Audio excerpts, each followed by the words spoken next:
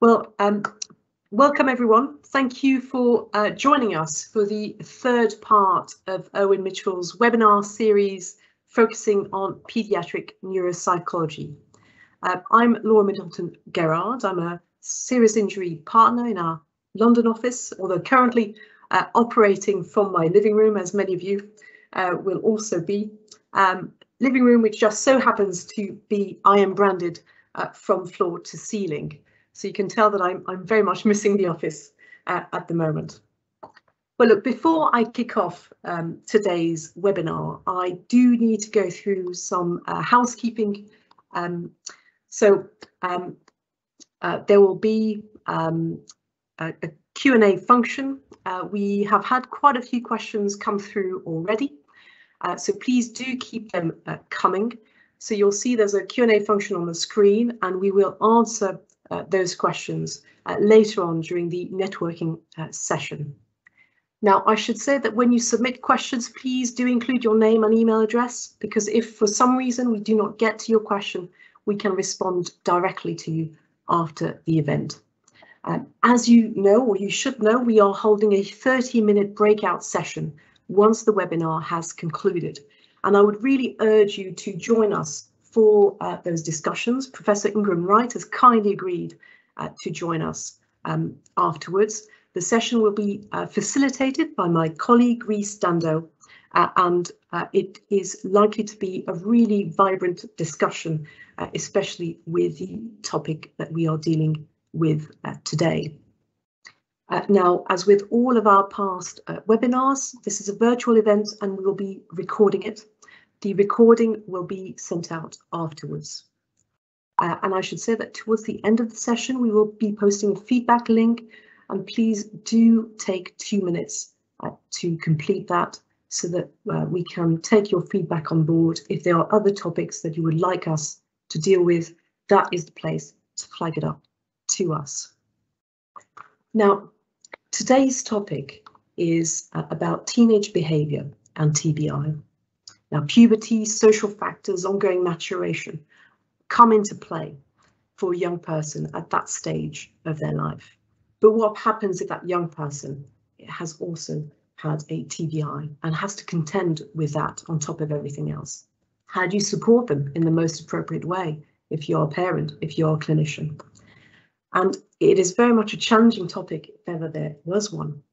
And it is one that I come across time and time again in the cases involving children or young adults that have been injured and who have a, a legal claim as a result of their injuries.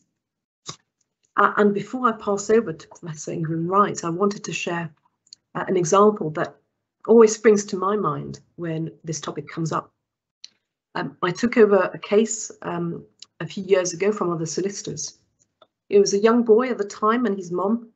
They were injured in a road traffic collision. Uh, they were both injured, but him especially so, with a severe TBI. Um, I thought the SI guide should apply to this type of case because of the injuries. And the guide essentially is a way, if you adhere to it, to generate interim payments throughout the life of a claim to fund rehabilitation. And that worked very well. We you know, secured around half a million in terms of interim payment to ensure that he had access to case managers, OT, neuropsychology, vocational OT, etc. It also means that you do have to have what we call road mapping meetings between claimant solicitors and defendant solicitors. Some more pleasant than, than others, um, but it, it is quite important uh, to be able to discuss informally matters relating to claims, timetable, etc. But during one such meeting involving my, my young lad, the defendant solicitors explained to me that, yes, my client had sustained a severe TBI, but what teenager had never got up late? What teenager had never left uh, his house, leaving the front door open, had never left the hob on, had never lost his keys, his wallet, uh, had never forgotten an MOT, had never got fired from work, had never sustained a breakup that would lead him um, to have suicidal ideation. And the list went on and on. Uh, needless to say, that argument was not successful. Um, and this was rebutted through clinical evidence from the MDT in this case, which was brilliant, showing the patterns of behaviour. Um, and from witness statements from the family, the friends, and even the employer, uh, highlighting the difficulties. And all of that was needed to challenge uh, the assumptions uh, that the defendant solicitors were putting across. But it, it, it does show two things for me.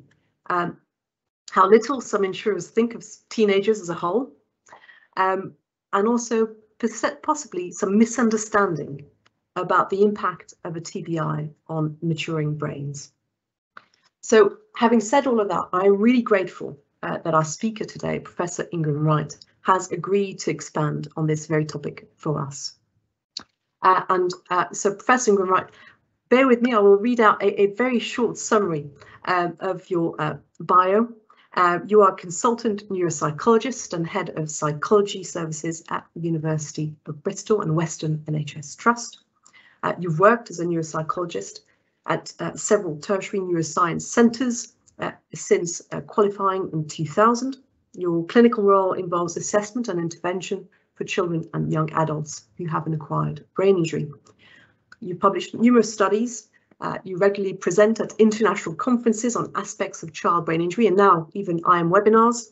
Uh, you contribute uh, to teaching programs at UCL, University of Bristol and Cardiff.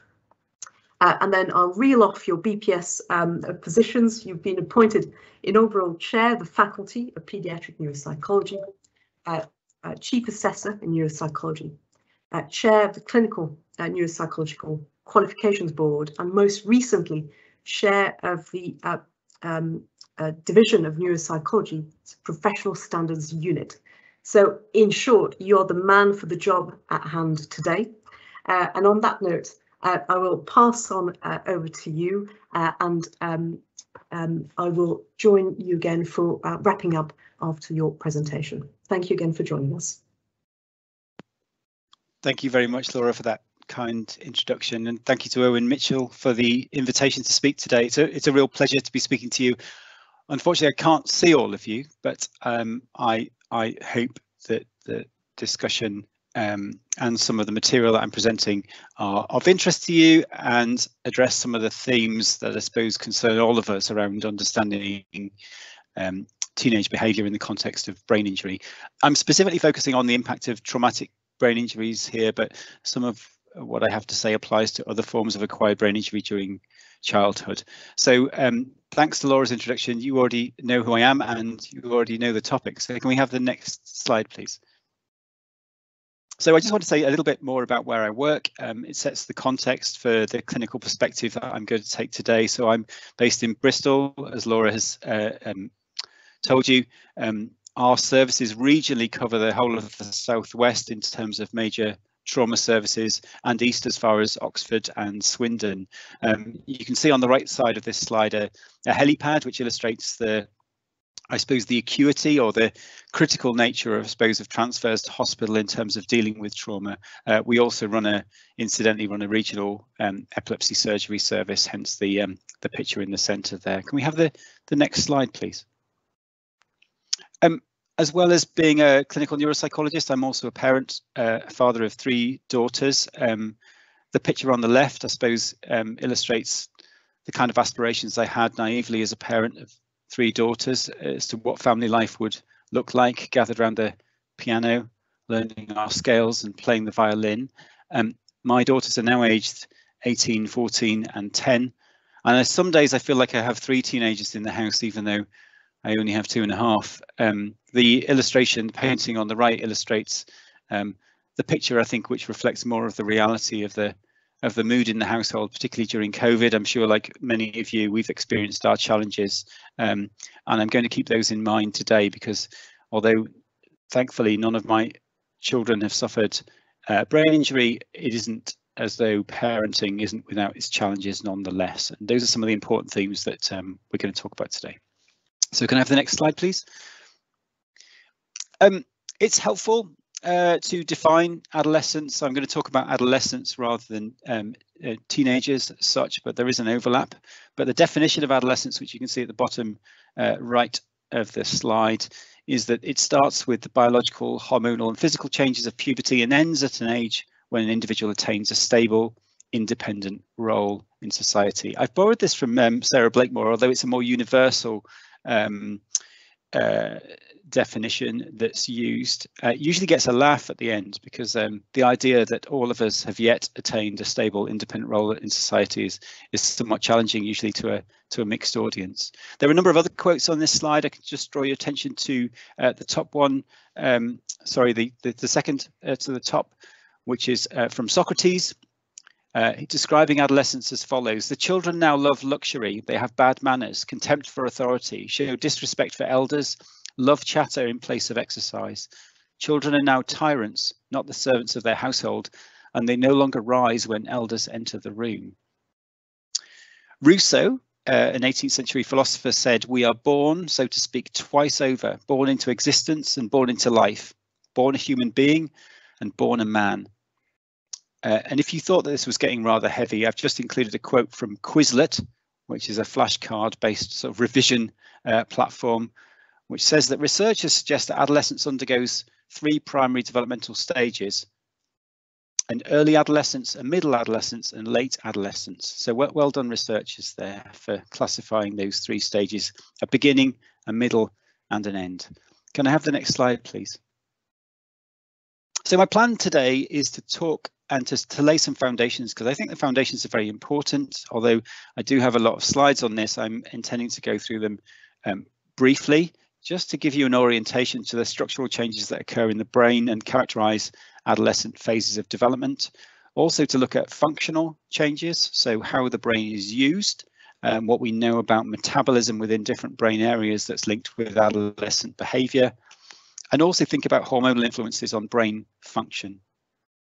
I then want to move on to talk about brain injury risks specifically, so which children are at risk of having traumatic brain injury specifically, and how this creates a problem for us in terms of the timing of the onset of brain injury related disturbance in cognition and behavior and the kind of growing emergence of behavioral challenges that characterize adolescence. Um, and then I want to finally wrap up with um, thinking about adolescent behavior, the relationship to brain injury, the key question here, but specifically in terms of what we can, how we can use the information that I've presented to inform both prognosis and treatment and intervention. Can I have the next slide, please? Um, so this slide illustrates um, uh, neuronal density in the brain. So um, our heads grow. Uh, head grows particularly rapidly during the early phases of, uh, of our development as, as human infants. Um, we have a fixed number of neurons, around 86 billion neurons, but the density within the brain changes over time. And what you can see here, which is important to point out, is the changes that occur between one year and 28 years are not in fact pathological, but are about pruning of synapses within the brain. So although there's a fixed number of neurons, uh, the pathways are pruned such that connections within the brain are actually more efficient at 28 years than they would be at one year of age. Can I have the next slide, please? Um, in terms of anatomical markers of brain development, what I wanted to illustrate with this slide is that there are various markers of maturity of the brain. So this slide is showing the neuronal and synaptic density. Um, but there are other markers that show a more protracted period of development over time. So myelination, a process that I'll describe in some detail over the next few slides, is a much more protracted period. So it extends over 20 years or more of, of life whereas changes in synaptic density, for example, occur over the first six to 24 months. This um, last, you can't see the, the um, uh, detail here, but I'm not expecting you to, um, is also showing that there are electrophysiological or electrical changes in the brain that mature over time. The point of this slide and what I often use it to illustrate is the rate at which the brain matures depends not on a single marker of maturity, but on interpretation of a complex constellation of different ways of describing brain maturity. Okay, can we have the next slide? So this is another sort of rather cartoonish way of describing what I've already said. So at birth, we have the same number of neurons, but the connections are rather sparse. Uh, by the age of six years of age, we found um, numerous connections which reflect experience um, and um, I suppose document within the structure of the brain the learning that we have um, um, made structural within our brain systems. By the age of 14 years, we've begun to prune some of that structure, to take out some of the pathways that are less important to us, and to reinforce transmission within pathways that are much more important in delivering our end goals. Can I have the next slide, please? This is a slide showing the myelination process. So if you look first of all at the x-axis, what you can see is age in years. And if you look at these curves that you can see illustrated that are labeled prefrontal, parietal and temporal and sensory motor cortex, what you're looking at here is synaptogenesis within the brain. So the formation of synapses and then subsequent pruning. That's that arc that you can see. Initial growth of synapses and subsequent pruning to make those brain systems more efficient. And you can see that pruning takes place in a non-uniform way. So the sensory motor cortex is the first to grow and to be pruned, followed by parietal and temporal areas, and finally by prefrontal cortex. So when we think about brain development, and specifically when we're thinking about adolescence, you can see that the development of the prefrontal cortex in terms of synaptogenesis and subsequent pruning is amongst the last to develop. And it coincides with a period of development during um, early puberty. Can I have the next slide, please? Uh, this slide essentially shows the same kind of thing, and so do the next few slides, so I'm going to go over them rather rapidly. But what this slide shows is the brain turning blue or purplish, and that reflects in terms of how the um, uh, the, the, the, the slide is put together. This cartoon shows an increase in white matter within the brain. So it's a reduction in grey matter and increase in white matter. So the brain being comprised of grey matter and white matter as the white matter increases, this reflects the myelination process within within brain pathways. And you, what you can see if you look carefully is that the areas of the brain that are turning blue, which reflect an increase in white matter, is not happening uniformly. There are various parts of the brain, um, and if you know your brain anatomy, you'll spot that the dorsolateral prefrontal cortex, this part sitting over the, the just, just sitting behind your temples, um, is is one of the last areas of brain development to reach full maturity in terms of in terms of white matter development. Next slide, please.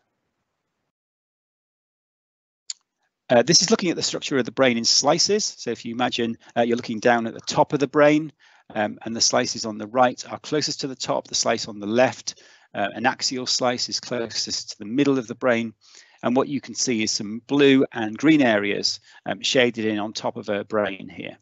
And what these areas, what these coloured areas show are the contrast between the juvenile brain, between young adults and adolescents and middle-aged adults. And what you can see in blue is white matter pathways within the brain that are developing between adolescence and mature adulthood. Um, the green patterns in the brain are reductions in frontal grey matter, so corresponding increases in frontal white matter. So essentially what we're looking at, here is the connectivity between frontal and subcortical structures and other areas of the brain that occur between adolescence and full maturity in adulthood.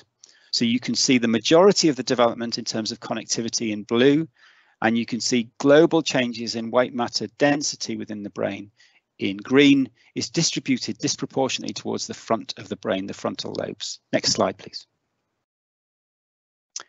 Uh, this is rather redundant, this slide, but just to remind you that what we're talking about here is an infant that is born essentially with a number of connections within the brain that can be modified through experience, such as reading, to the point where we reach a fully fledged and mature um, adolescent who's got all the connections that she needs in order to be able to function normally within the world. Okay, next slide, please. Adolescence is a period of turbulence, and I've been asked to talk specifically about adolescence. This is an excellent sort of infographic from UNICEF, which talks about two periods of vulnerability, but also opportunity for us in terms of how we support children and nurture them in terms of healthy brain development. I started off my um, interest in developmental uh, psychology being particularly interested in early years development, so between 0 and 3 years, um, and certainly in terms of um, governmental programs such as Sure Start that was introduced, this is seen as a, as a characteristic period of opportunity for us to intervene and support individuals in terms of brain development and increasing their life chances. But it's equally recognised and what's illustrated here by UNICEF is that period between 9 and 14 years is another opportunity for us to nurture children's brains and make sure that they're fit for purpose in terms of their roles in adulthood. Um, I'm going to go on to talk about infancy because I think one of the things about the contrast between infancy and adolescent development is that there are periods of regulation within infancy that are just as challenging as those periods within adolescent. And in terms of our understanding of both behavior and in terms of aspects of brain structure and function, they both illustrate very similar themes that have very different behavioral endpoints and evolutionary end goals. So can I have the next slide, please? Now, this is a rather jokey slide. Um, what, what if I was able to see your faces, I would probably see probably a look of consternation, some surprise that I'd chosen to include pictures of excavators in my um, slideshow. But what I want to illustrate is in terms of sensation seeking, um, something that adolescents are often accused of. There's no greater sensation for a young infant or a preschool child than seeing a bright yellow digger working in a field or on a building site, and they get very excited about these things. And the point I want to make is that sensation seeking or the brain's response to sensation is not something that's uniquely adolescent, but it has a different purpose in adolescent from the one that you'd see occurring in young childhood. Can we have the next slide, please? One more digger, just for those who are digger enthusiasts. What this slide shows is an infant um, seeking a different form of sensation, seeking to look at his or her mother's face. Um, it's a really important feature of early infant development. This is the kind of sensation that infants are really keen to to to to to have in their lives, right? So much so that if you show a newborn infant um, a, a, a paddle with three black dots on it, it will look at it as if it's a face. We are pre-wired to take information from faces, seek out that sensation and use it to form connections within our brain that allow us to develop rudimentary social functioning. Next slide, please. So what I've illustrated here, well, I haven't illustrated, I didn't do these paintings. The right on the one on the right is a, an extract from a Dali painting illustrating adolescence and the painting on left is one of a breastfeeding mother. There is an evolutionary advantage to the kind of behaviors that we see in infancy and in adolescence. And there's an evolutionary advantage to the kind of sensations and the kind of parameters that we're particularly sensitive to. Um, there was an excellent program. I don't know if anybody was listening to BBC Radio 4 last night with Amol Rajan was talking about rethinking education. Uh, and there was a challenge to the notion that infancy is a period that we should focus on because this is where we nurture children's brains and this is the period where we set children up for life. That needs to be balanced out with a recognition that during adolescence, we are um, poorly serving our adolescents in some ways by misunderstanding what it is that's going on for them behaviorally, emotionally, cognitively, and in terms of brain development. So I commend that program. There's a link on the screen uh, if you want to have a look at that. Next slide, please. So there's something going on in adolescence. So we're skipping from infancy and the kind of predispositions that infants bring to the world. Think about what is it that adolescents seek to do that provide, you know, often presents us with challenges, but has some um, we, we sorry we have some understanding of this. So this is a study that was done uh, by Smith, uh, looking at uh, risk taking during a simulated driving task, um, a stoplight task. So you have to see it's actually a chicken game that's um, presented in the in the slide here, and we're looking at the the extent to which young people will take risks with their driving. And what they do is they contrast in an experiment the child undertaking or the young person undertaking or the adult undertaking this task with or without groups of their peers. And what you find is that adolescents are much more sensitive to the presence of a social audience around their risk taking. So adolescents are much more likely to drive in a way that that that suffers manifest risk taking when they have the presence of uh, one of their peers. Okay, this is less pronounced in young adults and largely absent in, in, in, in adults. Next slide, please. This is a slide, and again, as with many of my slides and themes in this talk, I mentioned Sarah Blakemore earlier. Um, she highlights this in, in one of her TED talks and talks to the Royal Society, which is which is a an animal model, which is not irrelevant to understanding adolescence, although um, mice enjoy a period of about six days of adolescence, so it's blissfully short. But if you look at um, uh, mice, juvenile mice ingesting alcohol, the same kind of principles apply that, that juvenile mice will drink more alcohol in the presence of other mice than they would when they were alone. And that contrast isn't apparent in adult mice.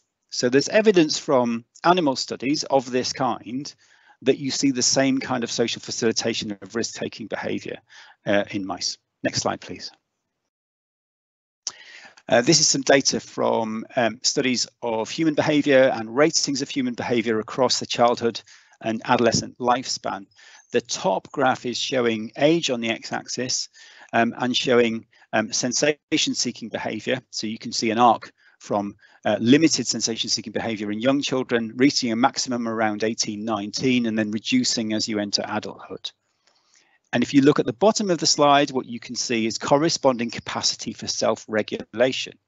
So this grows over the ages 10 to about 22, but doesn't reach its peak until about 24 or 25 years. And if you put those two together, what you see is an emphasis on sensation seeking, which is not matched by capacity for self-regulation.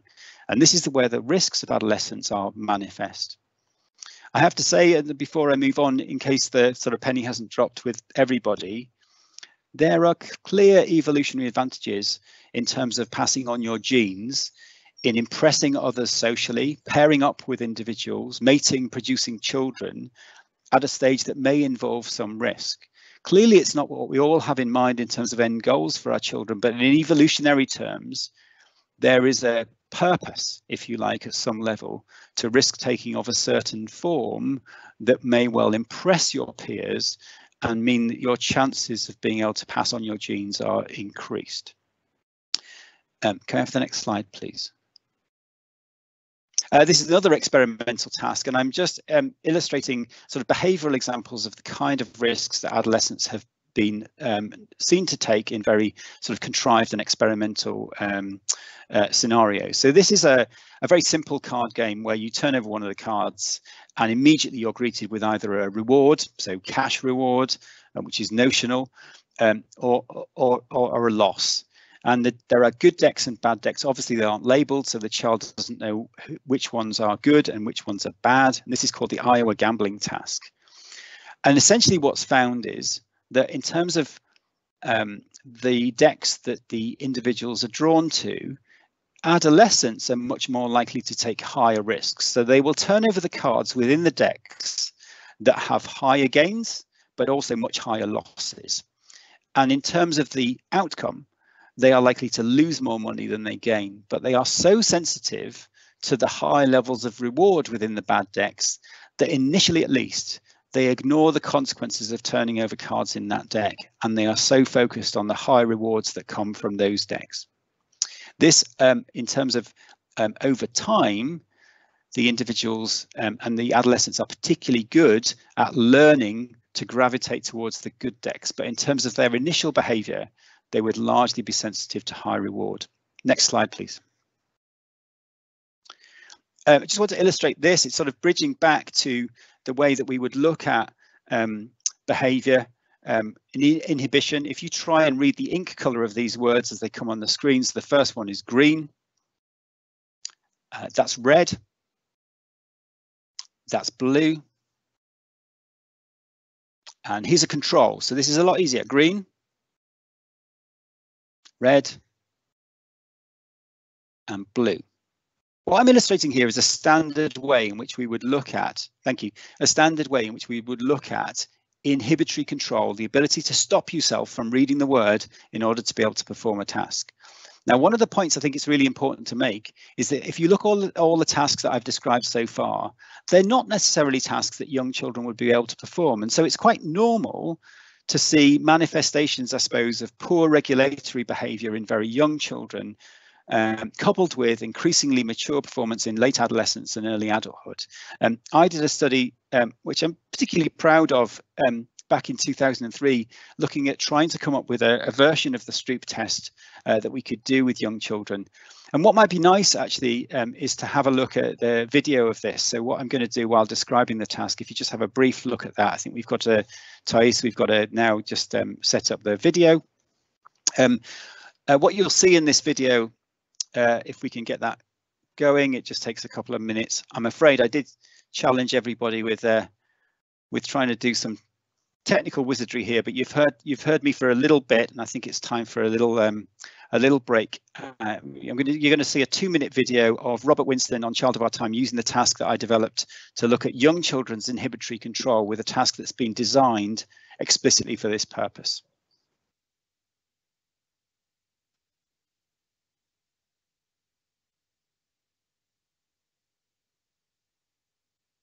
So can we play the video? So it's just a couple of minutes.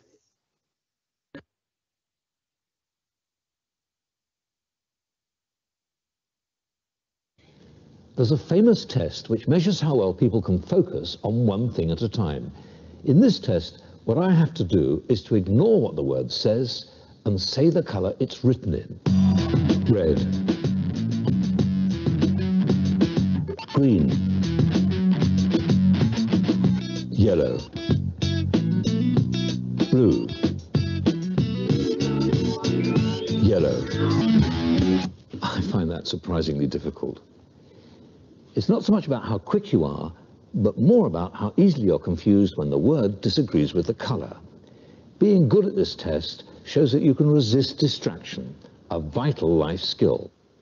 Our children can't read, so to do the test on them, we showed them some animals which all have the wrong heads.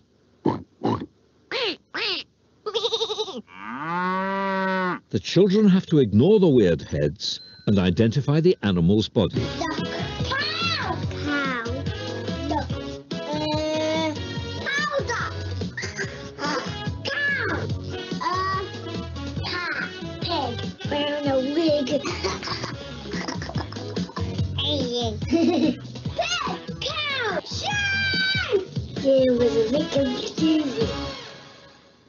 We can tell how distractible the children are by the length of time it takes them to recognize the animal.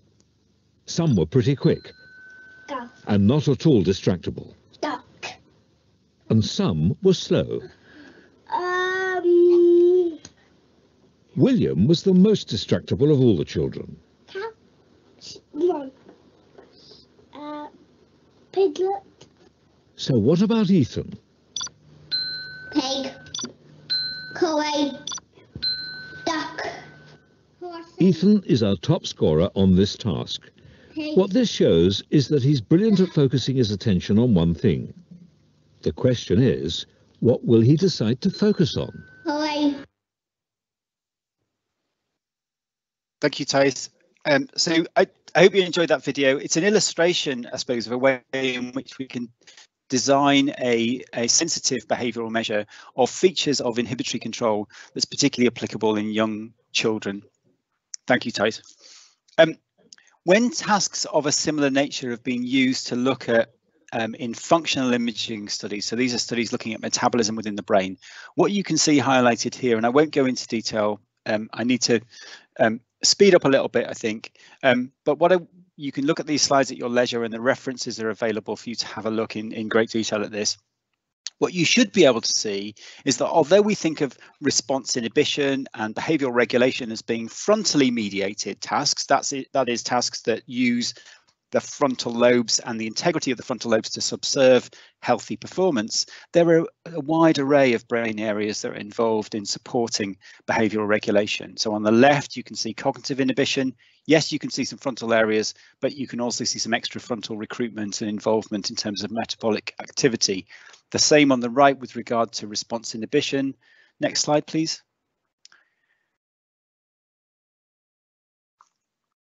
And in terms of emotional inhibition so similar tasks but involving emotional decision making emo responding to emotional stimuli.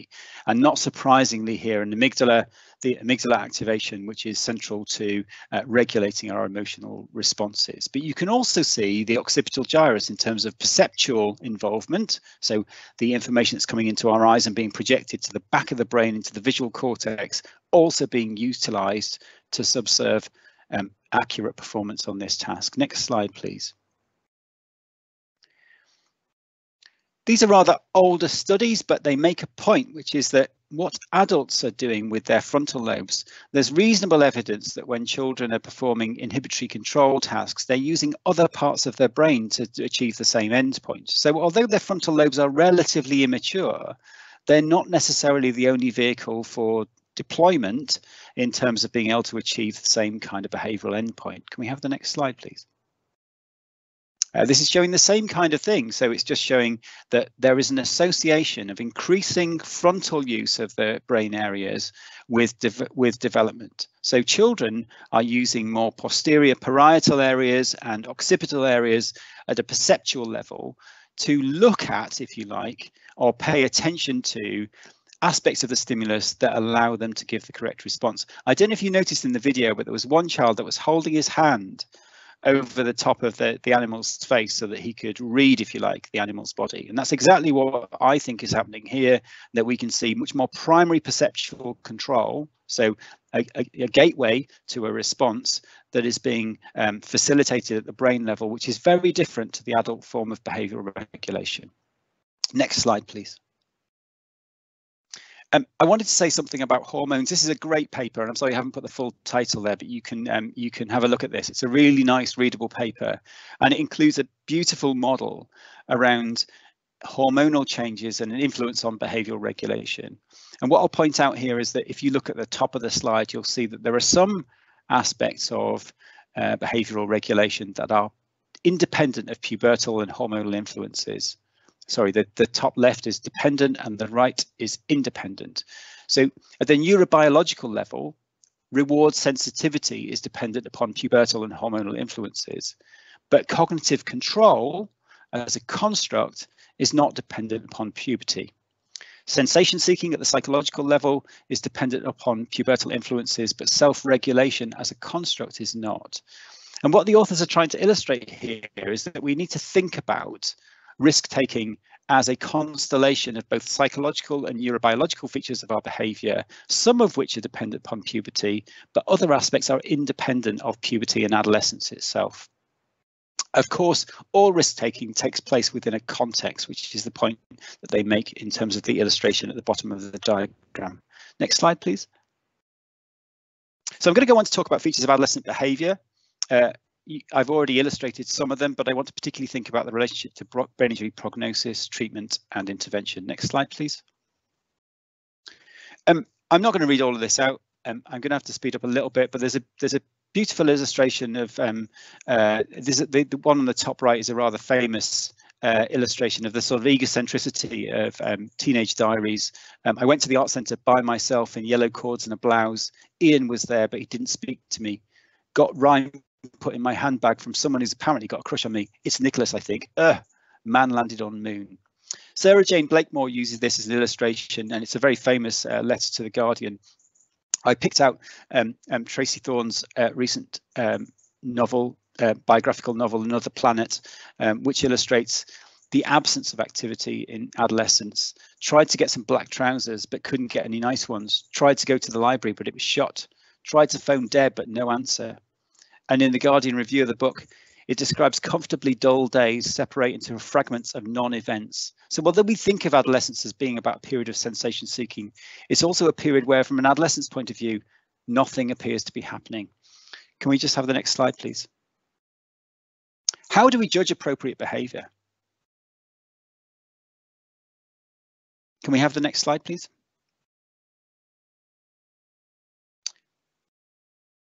I want you to think about how old these children are. So the first illustration, James entered the clinic, sat with his mother for five minutes while we talked, but became increasingly disruptive, pulling towels from the dispenser, squeezing alcohol gel onto the floor before climbing on the couch and jumping off. Contrast this with Milo.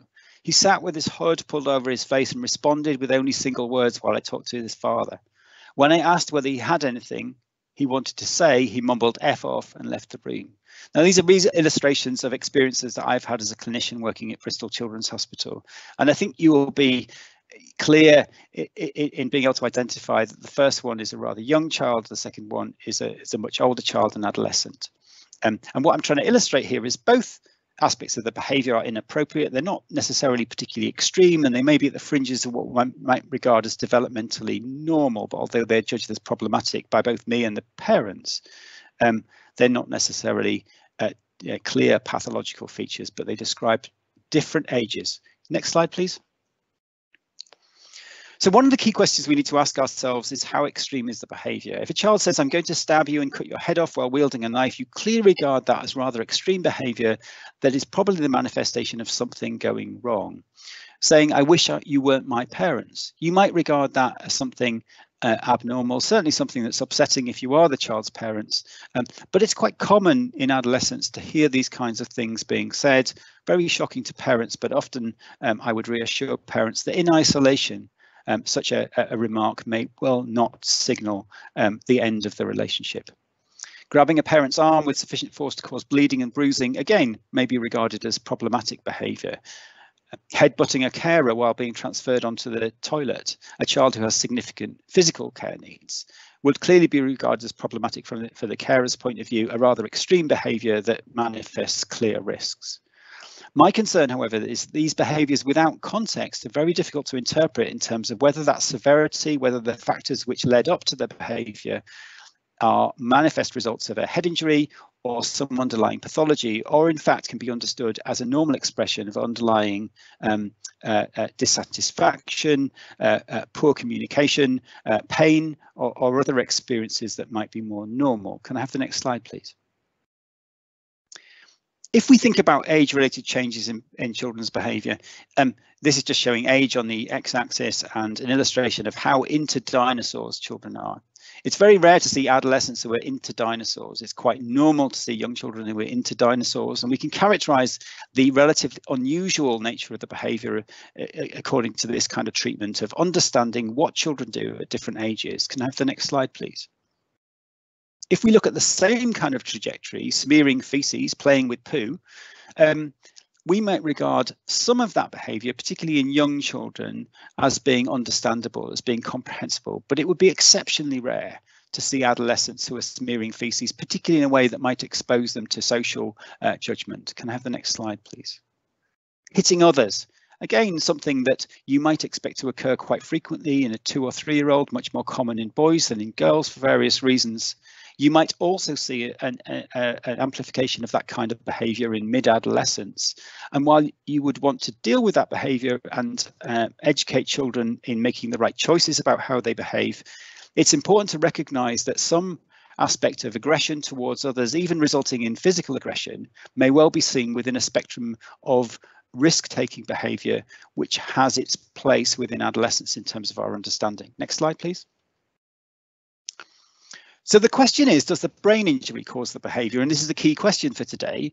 Um, I would argue that all behaviour is linked to internal features of the brain structure and function and its relationship to external factors. So all behaviour is brain related, but what matters is the emphasis, um, the severity uh, and the chronology of the emergence of that behaviour in relation to any particular brain injury. Um, so one way of understanding any type of behaviour is to use this framework of, of understanding antecedents, behavior and consequences, often called ABCs. So um, I find myself trying to um, uh, amuse the team when we're in Zoom meetings, which have all become rather dull of late. Um, so I might be finding myself in a team meeting uh, with my colleagues. That would be an antecedent. The behavior is I tell some kind of sarcastic joke. Um, my peers laugh, maybe nervously, but I experience that as rewarding and I continue to engage in this behavior until one of my colleagues points out that they were upset by my comments and they thought they were inappropriate and hence I may well modify my behavior. Next slide, please. So in terms of this is probably the most important slide in terms of addressing the central question. Um, in terms of lifetime patterns, we need to ask ourselves a set of questions. What's the age of injury? What is the form and nature of the emergence of the challenging behaviour? When was the onset of the difficult behaviour and what was its relationship to the timing of the brain injury? And were there any prior features of development which suggest this child had a pre-existing um, form of pathology or poor behavioural regulation that, that, that may have predisposed them to the injury? So that's about the chronology of emergence of the behaviour. I think we have to be aware, particularly in um, brain injury cases that we're managing clinically or in litigation, of the characterization of a child as being an angel before and a monster afterwards, because those extreme positions are very rarely true. Personality changes I often hear about, um, but often regard them not as a personality change, but a change in behaviour that's particularly salient to the adult that's witnessing it. I've already mentioned some features of behaviour that give us clues as to whether the brain injury is, is fundamental. When does the behaviour occur? When does it happen more often or less often? What does the behavior look like? What happens if you intervene and what usually happens afterwards? All of this kind of way of considering behavior allows us to look at whether there are particular antecedents, so whether there are particular um, conditions in which that behavior occurs, and whether some of the consequences might be rewarding for that individual. So a typical example would be a child who throws a chair across a classroom, a very extreme behavior but immediately the child is sent out of the classroom and able to sit quietly um, uh, in, in the lobby or outside the head teacher's office. And that may well be for that individual child who's struggling with their education a very rewarding experience, which with hindsight is very understandable in, in terms of the, the, the way in which that behaviour has been shaped over time. Again, I'm wary of uh, behaviour that appears to have no antecedents, which may suggest um, a, a, more endogenous brain injury related um, um, cause. Um, but often when behaviour is described as occurring out of the blue, if one does a little bit of gentle inquiry about in what circumstances it happens, or give me the example of the last time you saw that, you actually find out there were clear antecedents that this has been building up over the over the day. There'd been an argument the previous night which had set the tone for um, an escalation of a particular kind of behaviour, which with hindsight had clear antecedents uh, or conditions which facilitated that behaviour happening. Next slide, please.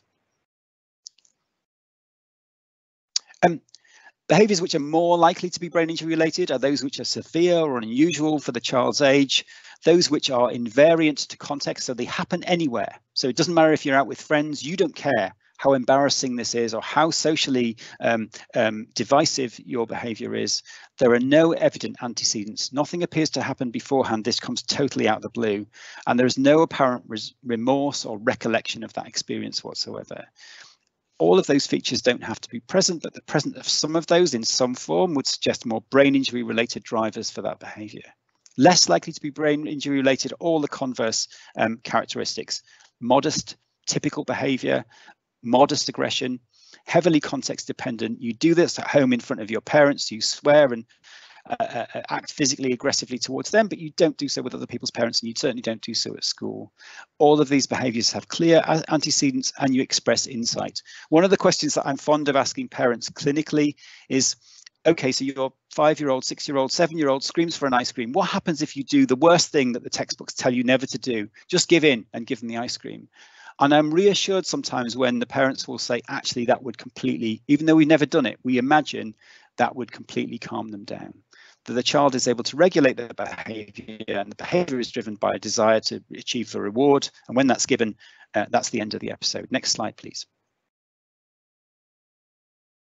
Um, specific behavioral disorders are linked to underlying brain dysfunction. So psychopathy is a form of a behavioral description, rather controversial around manipulation, deception, emotional superficiality, lack of empathy and remorse, impulsive and, and irresponsible lifestyle episodic discontrol is an important um, uh, issue to recognize, which is often a, or I wouldn't say often, which is a feature of brain injury, often linked to um, ep underlying epilepsy and results in extraordinary violence, aggressive outbursts, which appear to have no um, uh, particular precipitating factors. Can I have the next slide, please?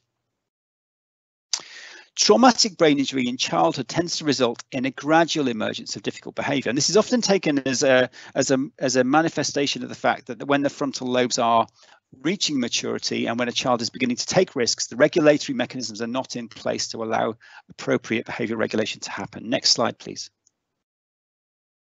Uh, there's a great couple of um, studies. I'm not going to read these out, but they're showing exactly this point. Um, um, young children. This is a 20 year old who was run over by a vehicle at 15 months and had this kind of pattern of sort of bifrontal uh, brain injury, um, resulting in a particular form of risky and socially inappropriate behavior in adolescence. Next slide, please. Another case of a child who had a right frontal brain tumour removed at the age of three months and largely made a good recovery. But by the time they were nine, they were showing a lack of motivation, outbursts of anger, consuming large quantities of food, and later became obese engaged in reckless financial behavior, sexually irresponsible behavior, etc. Next slide, please. Is it more complicated than this? Of course, the answer is yes. Next slide, please. Um, Pre-injury factors are linked to risk of injury. So um, if you get, I got my daughter one of these uh, sort of uh, hoverboards, I think they're called for Christmas. Uh, if you uh, look at the next slide, please. Uh, what she didn't do is use it on a set of steps, as this uh, young person did, which inevitably results in the next uh, image, which is an injury. We know that children with ADHD make bad choices about risk taking in early and mid childhood and indeed into adolescence. Can I have the next slide, please? Um, we also know that head injury isn't uniformly distributed with regard to um, uh, gender. So this is just showing the disproportionate uh, preponderance of males in head injury statistics. Uh, so that's top line. Next slide, please. And this is just showing socioeconomic status is is uh, an strongly um, influences the risks around head injury. Next slide, please.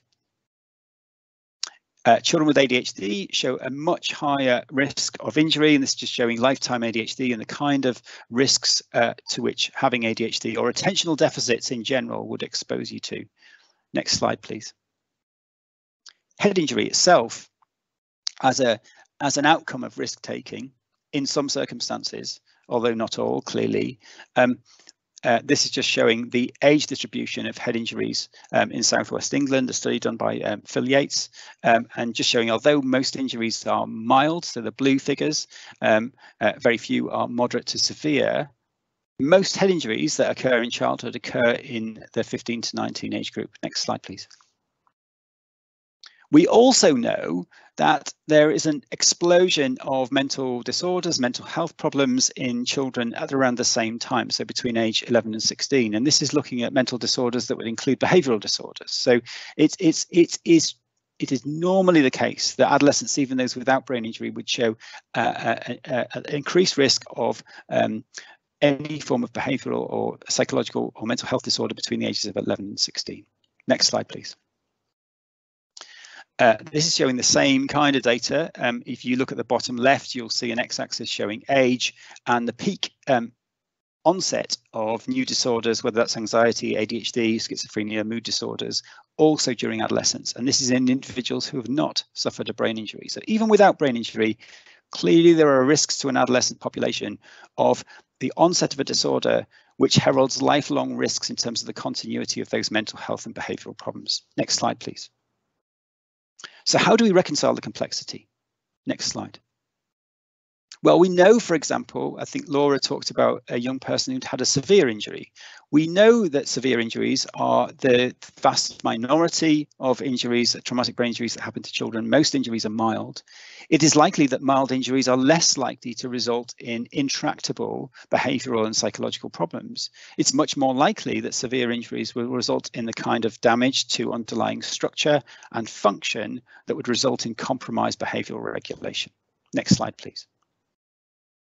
So amplified risks um, um, for a uh, for a child exhibiting um, difficult behaviour would be um, uh, presence of a mild, moderate or severe learning disability. So we don't need to posit specific um, structures within the brain which are broken in order to be able to understand that having a severe learning disability or a moderate learning disability predisposes you to challenging behaviour. We know that. We know that about individuals without brain injury who exhibit the same kind of cognitive impairment. So cognitive factors like inhibitory control, behavioral regulation are compromised in the same way that your global uh, learning is compromised. And if you're faced with additional communication difficulties, getting your wants known to others, getting your needs met is a challenge. If you're additionally dependent upon the physical support from others and you have a communication and learning disability, these are all factors which would contribute to a significant risk of lifelong challenging behaviour. Qualitatively distinct from that are discrete areas of damage to the brain, so epilepsy related frontal lobe epilepsy, for example, leading to explosive um, episodes of challenging behaviour or severe and specific impairments to control or regulatory mechanisms, so damage to medial temporal structures like the amygdala, might lead to specific circuit-related deficits in cognitive functioning. But we can see the pathology on scans, we can see the pathology on metabolic studies or functional imaging studies, which allows us then to predict that this form of behavior is driven by a particular form of dysfunction in the brain. I'm going to speed up a little bit. I know I'm going very fast, but there'll be time to explore some of these themes and questions. Next slide, please. We make attribution biases when we're judging acceptable behavior. if I use my phone, it's all right. If my child uses her phone, I'd ask her to, to, to put it down and switch it off while we're at the dinner table. Um, so I make different judgments. I'm a hypocrite, as my eldest tells me. Uh, next slide, please we make a fundamental attribution error. And I invite you to, if you're happy with the swearing in the video, to watch this um, scene from Seinfeld, which brings a lot of the ideas together that I've talked about today. The fundamental attribution error is that when we're judging someone else's behavior, if it's a positive behavior, we believe it's down to circumstances. But when we make the judgment about our own behavior, we regard that positive behavior as intrinsic to our warm and positive personality if there's a negative behavior that's that's being uh, questioned, if that is a behavior exhibited by ourselves. We regard that as down to circumstances. I shouted or I swore because I was particularly stressed and I'd had a difficult day, whereas you swore or shouted because you have personality problems. So that's the kind of bias that allows us to feel comfortable with ourselves, but also make inappropriate judgments about others. And we do the same in relation to brain injury. Next slide, please. Um, there's a great um, um, theory about um, locus of control, which is um, illustrated here, that, um, that, that, that we can either make judgments which are about stable factors or unstable factors, internal with internal or external drivers. So if we're talking about negative behavior, an example of an unstable external factor would be bad luck, whereas a stable internal factor would be inability. I did that bad thing because I'm unable to do it.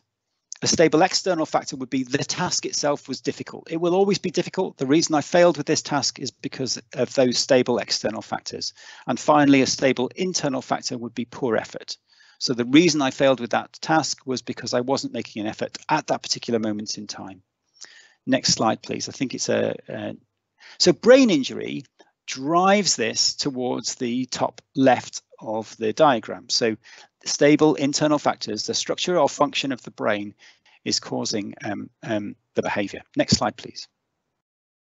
I just want to credit some work that was done uh, by colleagues uh, Peter Tucker and James Hanley. Peter uh, was at both the University of Bath and uh, the RNHRD in the um, in Bath um, City, um, but also works for Recolo, and maybe some practitioners from Recolo here today. Um, he characterises behaviour which is more likely to be attributed by staff to brain injury as comprising things like, in blue here, physical aggression towards self or others, sexualised behaviour, fecal smearing or obsessive, obsessive eating, and, and non-brain injury related judgments were made about behaviour which was around non-compliance, or verbal rather than physical aggression, lack of engagement or motivation. Next slide, please. They also looked at the extremeness of behaviour and the corresponding judgments made by staff. So the more extreme the behaviour, the more likely it was to be judged by staff as being brain injury related. Next slide. In terms of control, they um, described this young person who was shouting and swearing with little old ladies in the lift and would say, oh, sorry, immediately express remorse, but continue to exhibit the behaviour with a semblance of lack of control. Another feature of brain injury related difficult behaviour. Next slide, please. And in terms of appearance, people who look well, who look normal, who may have had a brain injury, um, we're more prone to making attribution biases around um, their behaviour being non-brain injury related. And finally, next slide, normality. I think if they've had a brain injury, sometimes we say, well, look, they've got a brain injury. And actually, when you look at it, we think they're just behaving like normal teenagers. So there again, there are biases towards recognizing normal teenage behavior in terms of the form and function of the behavior that we see being exhibited by a person who's nonetheless had a brain injury. Next slide, please. A pragmatic approach, and I've just got two more slides if you can bear with me.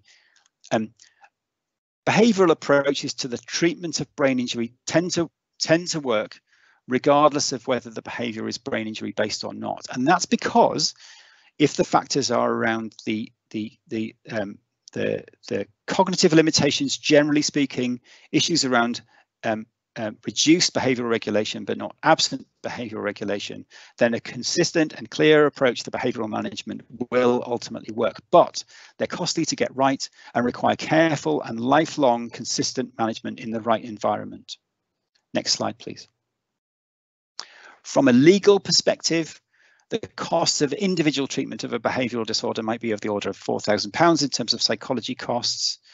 But in the most extreme situation, we might be looking at lifetime costs of two to one care, the importance of having a stable and highly trained staff group within an appropriate environment and appropriate risk management. There's often an argument about discrete management, so the treatment of an individual behaviour, which is a one-off treatment, versus a lifelong management plan. And in cases of learning disability and acquired brain injury resulting in dysregulation of behaviour, it's much more likely that you require not a one-off treatment, but the maintenance of a program and an infrastructure, which is both costly, but needs to be, and it's costly because it needs to be sustained over a long period of time across a variety of settings and in response to a variety of challenges that an individual may experience. Use next slide, please.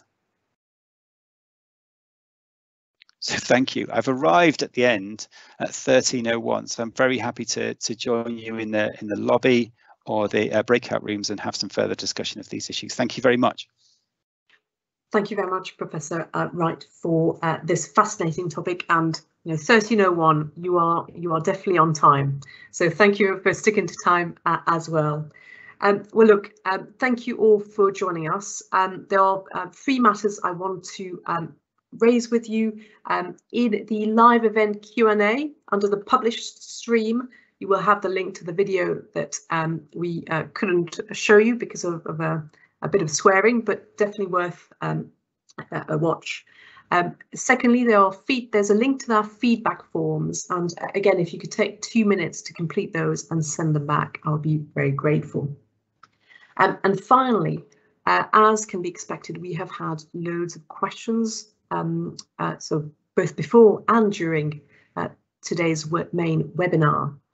Um, there are quite a few um, attendees uh, with us and we expect quite a vibrant discussion going through uh, all of these questions. But if you want the answers, then you have to join us in the networking room and the link has been posted again in the published uh, feed um, section uh, and that will take you straight into a next um, Teams room where you'll be able to see each other and have a bit more interaction with Professor Wright. So I'll invite all of you to switch over to that platform. It will be moderated by my colleague Rhys Dando uh, and um, Professor um, Ingram Wright uh, will kindly also uh, attend that session to answer all of your questions. So thank you once again, uh, and that's it from me.